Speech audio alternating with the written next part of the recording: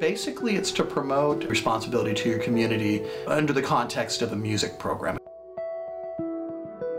You just want them to love music and love performing, and really for me, it's just giving them something to do that keeps them off the streets. That's that's positive, and that makes other people go, "Wow." Join us on a creative journey as we highlight the many artistic endeavors in our community. This is Expressions of Art.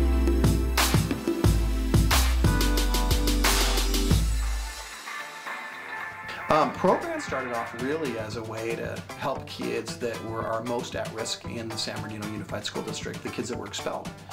And we realized that they did better if they were involved in extracurricular activities, especially experiences that they've never had. Kids do want to play at Disney and SeaWorld, places that call us every year to play. And so we mix it in with these community shows, and the kids understand that part of getting support from the community requires them to give back. They always, you know, come up and congratulate us as we walk off on stage, and it just it, it gives us like a good, you know, like we did a good job kind of feeling. I just love the music that they play, and I think it's just um, just a great way to spend my time because I just really enjoy being up on stage and being able to, um, you know, kind of show off to everybody, and it's it's really fun. It's really exhilarating.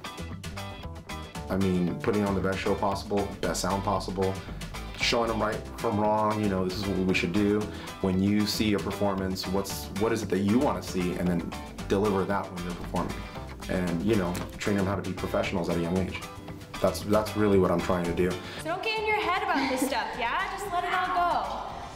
Yeah, but that was awesome. It's not just the performance part of it, it's the part where they're getting to see different ways that different people are living and you know, hopefully it inspires them to understand that there's more than just their local community. I was really like excited, but I was nervous as well because I had never performed like at a place like that, and I thought I was gonna like mess up. And it was just nice to experience something like that. It was it was really fun. With the whole focus that we keep everything free. That's the one big thing about our program is we um, want to make sure that everybody who wants to attend our program can come and that there's no cost associated with it. To watch full episodes of Expressions of Art, visit empirenetwork.org/expressions.